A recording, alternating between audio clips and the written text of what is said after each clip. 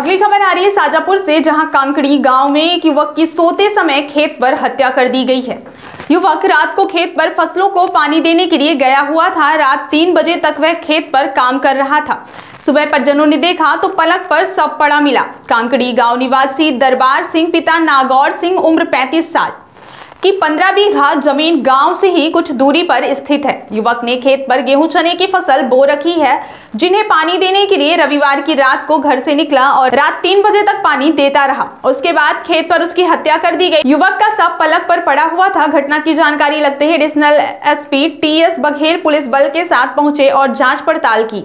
कोतवाली पुलिस ने मर्ग कायम कर मामला जाँच में लिया है। मृतक की पहली पत्नी की मौत हो चुकी है और उसने दूसरी शादी की है। पहली पत्नी का एक बेटा भी है, पुलिस जाँच में जुटी है किन कारणों के चलते युवक की हत्या की गई।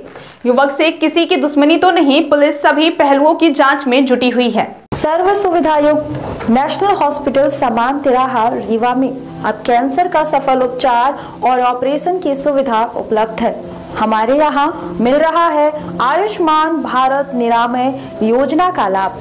आयुष्मान जन आरोग्य योजना के तहत सभी प्रकार के मेडिक्लेम की सुविधा उपलब्ध है।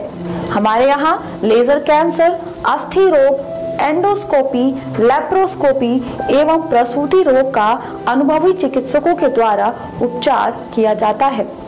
कैंसर के इलाज एवं ऑपरेशन अब रीवा के नेशनल अस्पताल में उपलब्ध है। नेशनल हॉस्पिटल के संचालक डॉक्टर अखिलेश पटेल के द्वारा उपलब्ध करवाई जा रही हैं सभी सुविधाएँ। आयुष्मान से संबंधित किसी भी प्रकार की जानकारी के लिए संपर्क करें।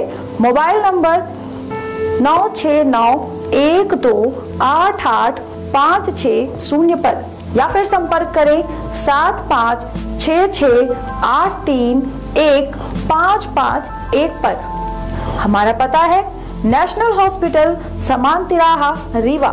संपर्क करें शून्य सात छ छ दो, तीन पाँच नौ नौ सात चार पर। या फिर संपर्क करें आठ छ शून्य दो आठ आठ पाँच नौ नौ शून्य पर।